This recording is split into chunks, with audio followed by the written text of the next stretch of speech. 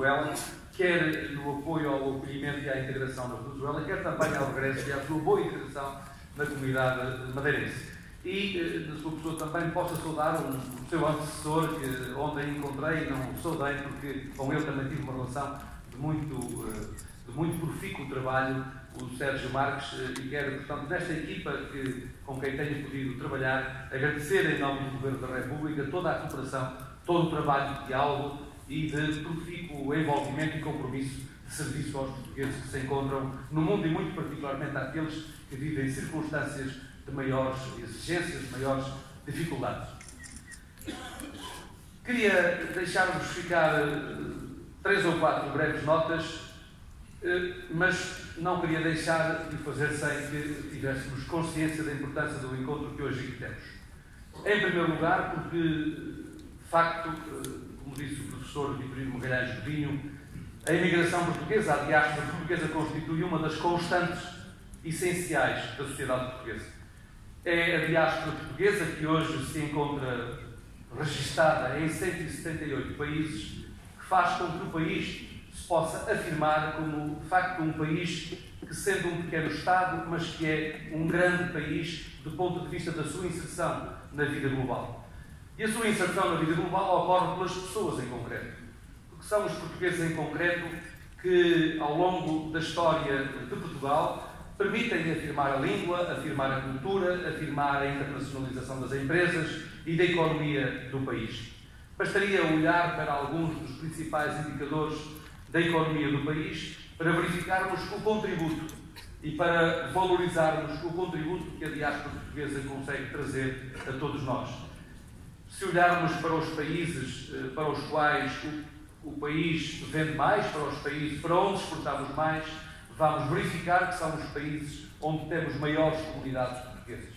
Mas se olharmos para os dados das compras do país, se olharmos para os países de onde importamos mais, verificaremos também que é precisamente dos países onde temos maiores comunidades portuguesas. E como ontem aqui uh, lembrava, se olharmos para o turismo nacional, dados oficiais do Instituto Nacional de Estatística, verificaremos que cerca de 25% dos turistas nacionais têm ascendentes portugueses. Ora, estes uh, três indicadores ilustram bem a forma, a força com que Portugal se insere no mundo e aquilo que é o seu grande alicerce é o alicerce humano das comunidades disseminadas por 178 países. Onde mesmo foi possível olhar para aquilo que é o contributo dos portugueses do ponto de vista da inserção política e institucional do país no mundo. Não há hoje praticamente países, regiões do mundo onde não tenhamos portugueses a desempenhar as mais importantes funções do ponto de vista político e do ponto de vista institucional. Isso não apenas é fundamental para a boa integração e para o bom acolhimento dos portugueses no estrangeiro, como é fundamental para a capacidade política do país na determinação e na influência ao processo de decisão eh, internacional. Quem eh, percorre a Califórnia e olha para os nossos deputados democratas ou para os nossos deputados republicanos e para a influência que têm no processo decisório dos Estados Unidos,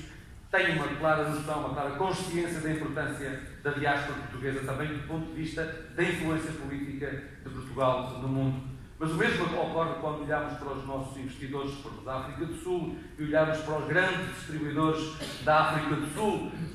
com origens na Madeira ou no Reino Unido ou na Austrália, verificaremos o modo como estamos inseridos nas redes globais de valor, do ponto de vista económico, do ponto de vista empresarial, por força dos portugueses empreendedores que se encontram em todo o mundo. Ora, esta força, esta diáspora, esta inserção na vida global que ocorre pela vida concreta de cada cidadão e de cada cidadão que se encontra na vida internacional, é uma força que diariamente é acompanhada por uma rede consular e diplomática, hoje com representação em 148 países e que conta com 117 serviços eh, de carreira e depois com uma rede facto muito valiosa de mais de 220 consulados honorários, alguns deles também com origem na Madeira, ou em alguns casos descendentes da própria Madeira, e que eh, se inserem eh, em todas as estruturas institucionais e que nos auxiliam no diálogo institucional, desde os poderes locais aos poderes regionais, aos poderes federais e aos poderes nacionais dos diferentes países nos quais temos comunidades portuguesas. E estes serviços consulares que se articulam com serviços regionais, e aqui tem havido um belíssimo exemplo da boa cooperação com os serviços regionais que apoiam as comunidades madeirenses, que também ocorre com os serviços regionais dos Açores, mostra a importância de termos uma abordagem sistémica às comunidades portuguesas e uma abordagem que seja simultaneamente multinível. Multinível do ponto de vista e no plano internacional, mas multinível também do ponto de vista do trabalho interno, quer do ponto de vista do trabalho com as autarquias, quer do ponto de vista do trabalho com os poderes regionais. Ora, eh, é, por um lado, olhando para esta dimensão estratégica da diáspora portuguesa,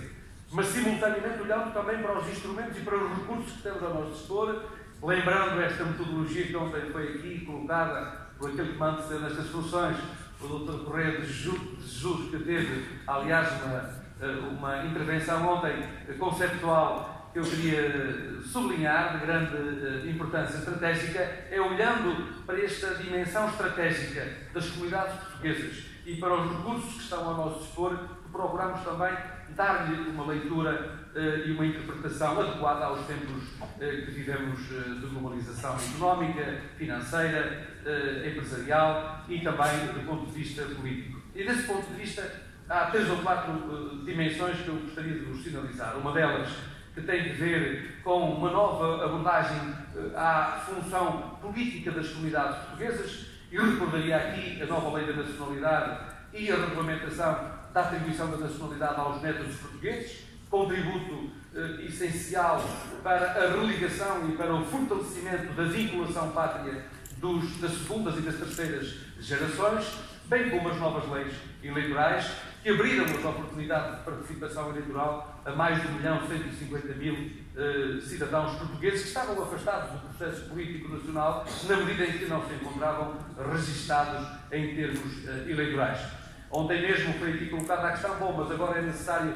referirmos e abordarmos a questão do número de representantes com origem na diáspora. Naturalmente será a participação eleitoral que conduzirá a esse debate posteriormente tomará lugar na Assembleia da República e que esteve, aliás,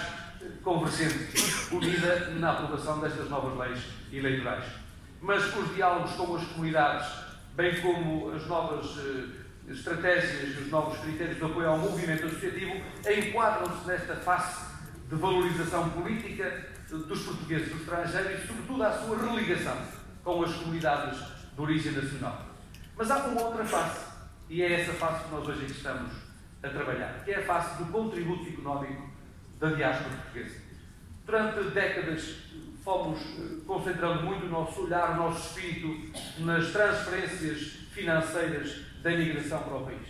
Desde a década de 50, que os estudos, fundamentalmente, aliás, acompanhavam os fluxos migratórios numa ótica de, uh, saída de mão de obra a entrada financeira, vendo até os recursos humanos quase como uma explotação de pessoas com o retorno uh, financeiro. E foi assim que, de facto, a imigração foi vista e foi sendo, aliás, olhada pela própria OCDE. Tive há pouco tempo uma conversa com um dos responsáveis pelo desenvolvimento da OCDE, onde transmitem, bom, é muito importante começarem a avaliar e a estudarem outras dimensões do contributo da diáspora, não apenas em relação ao contributo das transferências financeiras em medição eh, por comparação com o produto interno dos respectivos países. Teremos hoje 0,8, 0,7, 0,7, 0,8 do produto interno, o que significa historicamente também do ponto de vista do contributo para o produto e, proporcionalmente, já teve peso mais significativo. Mas há uma dimensão que é necessário trabalhar.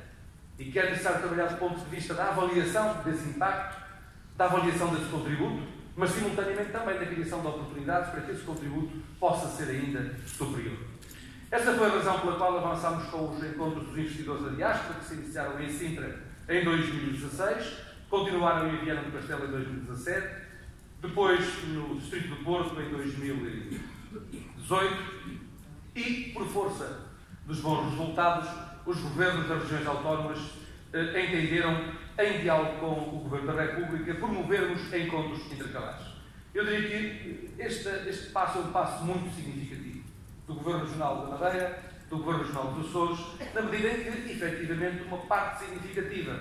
do conjunto da diáspora portuguesa tem alicerces nestas duas regiões autónomas e o contributo que estas duas regiões autónomas dão para o desenvolvimento nacional, por força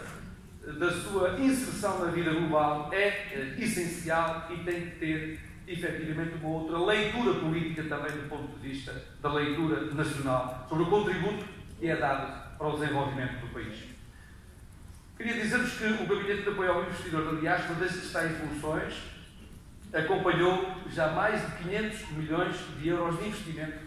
com origem na diáspora, do norte ao sul do país, nas regiões autónomas, e o encontro intercalar que ocorreu em julho do ano que passou nos Açores, temos informações oficiais do Governo da região autónoma dos Açores, que nos apontam para cerca de 35 milhões a 40 milhões de investimentos que resultaram desse encontro na região autónoma dos Açores. Ora, eh, esta é eh, talvez a melhor demonstração da importância destes encontros que têm em vista criar eh,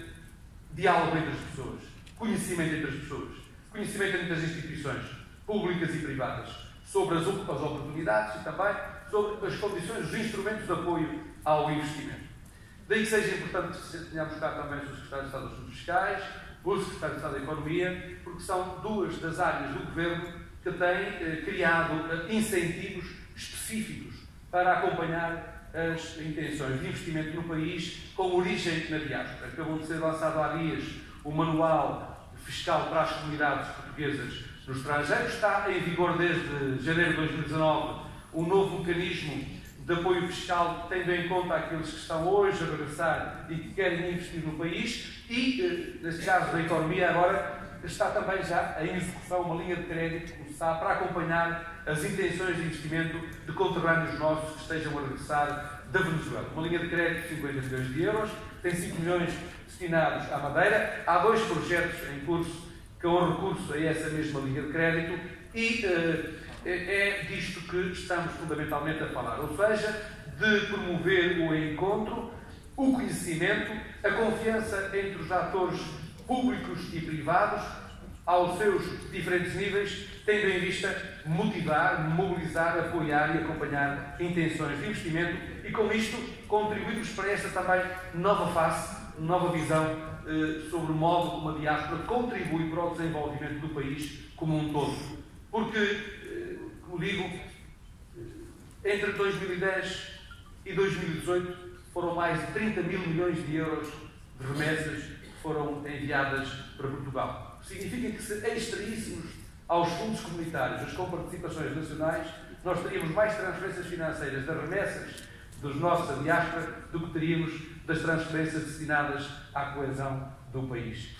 E nestes números, como disse, não está avaliada a contribuição que é concedida ao país por força da vontade de investimento, muitas das vezes uma vontade de investimento que numa primeira fase não olha ao retorno do investimento, mas olha fundamentalmente às questões afetivas e de vinculação afetiva aos territórios de origem.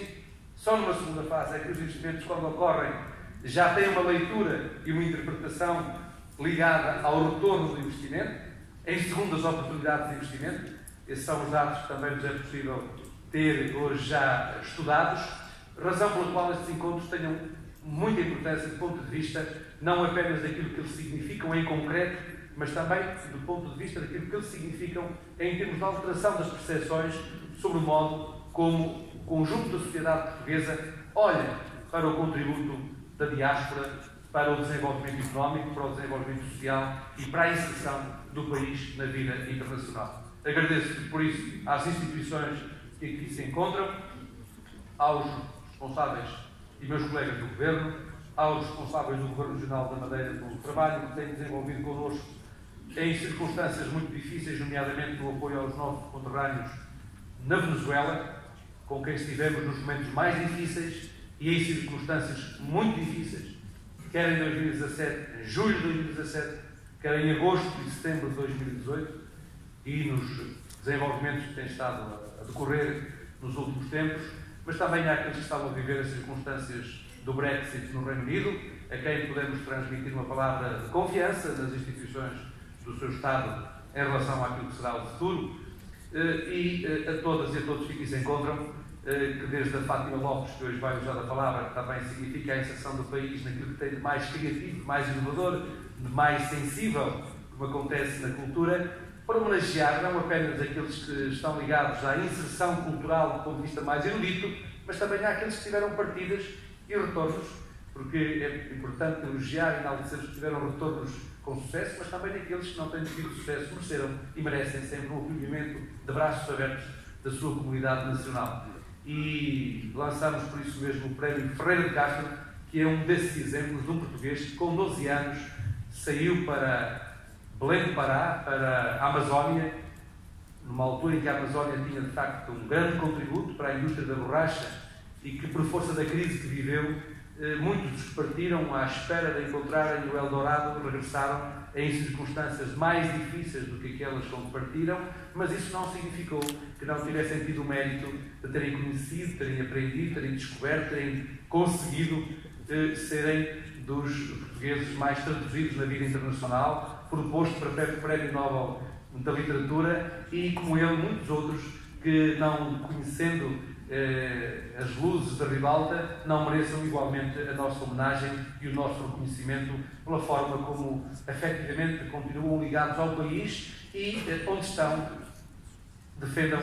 os interesses nacionais. Bem-aja a todos, muito obrigado e um bom dia de trabalho.